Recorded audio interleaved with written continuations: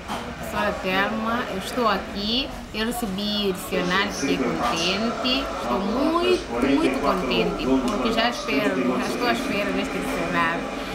E obrigado, e estou mesmo, não estou a BMD, mas estou a.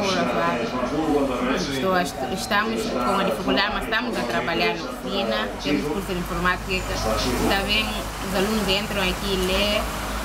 Eu também fiz já estou a pensar fazer um, um concurso, 1 de junho, Dia Internacional das Crianças.